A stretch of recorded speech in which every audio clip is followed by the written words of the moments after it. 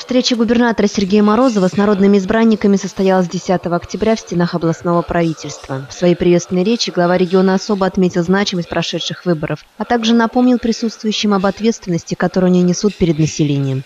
Мы с вами знаем, что накал предвыборной борьбы был очень высок. Конкурентная борьба была достаточно жесткой, это надо признать. Однако, несмотря на все вот эти э, э, чувства, которые были у каждого из вас, несмотря на такую вот высокую температуру избирательной кампании, надо честно сказать о том, что никто из вас э, не переходил рамки закона, не скатывался к войне компроматов, не скатывался к оскорблениям. Каждый провел свою кампанию очень достойно. Среди поднятых на встрече вопросов самым главным значился дальнейшее развитие городских и сельских поселений. Каждый из депутатов поделился с губернатором тем, каким он видит развитие своего муниципалитета.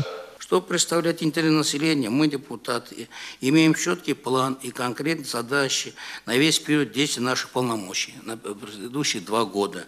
В этих целях мы будем проводить сходы, собрания, встречи, а не ограничиться только заявлениями граждан. По итогам были сформулированы три основных стратегических направления работы избранных депутатов. Формирование благоприятного социального климата, развитие инфраструктуры ЖКХ и транспорта, а также поддержка малого и среднего бизнеса создавать благоприятные условия для развития, для развития отрасли культуры, образования, физической культуры и спорта, работать над условиями, которые смогут позволить обеспечить доступность жилья для большинства граждан.